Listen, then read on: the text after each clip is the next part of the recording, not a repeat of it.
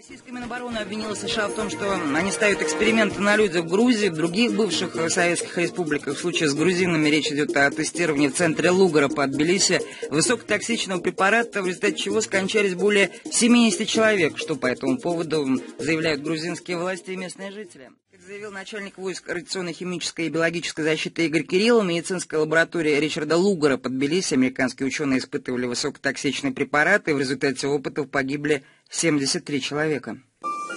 Подробности словам Кириллова, сведения об испытаниях были представлены экс-министром госбезопасности Грузии Игорем Георгадзе. Как пишет РБК, 11 сентября Георгадзе заявил, что у него оказались документы, доказывающие проведение американскими учеными секретных экспериментов над людьми в лаборатории Лугара. Экс-министр пояснил, что бумаги ему передали друзья из Грузии. Георгадзе утверждал, что документы свидетельствуют о смерти участников исследований. Причем в графе причины смерти у всех участников экспериментов указано неизвестно.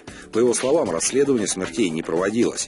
Официальный представитель Пентагона США Эрик Пахан назвал абсурдными заявления о тайных опытах в лаборатории неподалеку от Тбилиси, отметив, что США не ведут разработку биологического оружия в центре Лугара. По его словам, данный объект принадлежит Национальному центру по контролю заболеваний и общественного здравоохранения Грузии. Что об этом говорят в Грузии? Вот что нам рассказал политический обозреватель Гела Васадзе.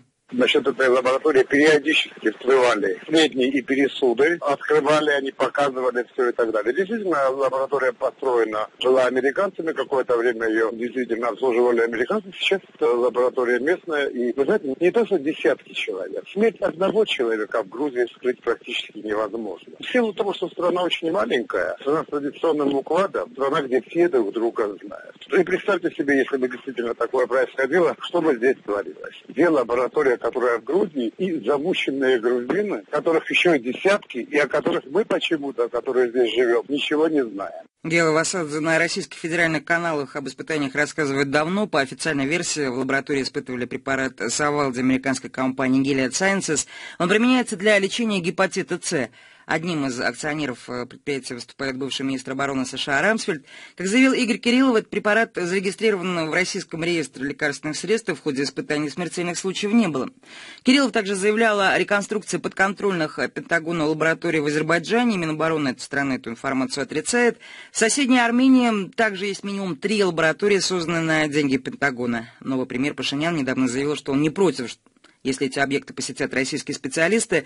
По заявлению Минобороны России, десятки биологических лабораторий военные США разместили также на территории Молдавии, Казахстана, Киргизии, Узбекистана и Украины.